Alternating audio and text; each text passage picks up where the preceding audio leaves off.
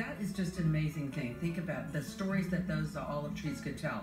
So pressing the olives. So let's do. Are we gonna have a look at the footage on that one because you said it's like a, uh, it's a, like a cassette. So and then they. yeah. So there's. Uh, I'll explain in a sec. Basically, they squish it out. It's called cold pressing. Same thing as you have with coconut oil. And this is the best type of oil because it's not pressed by chemical process. And you can see here they squish it like you would squish an orange, and and it all just pours out. And that's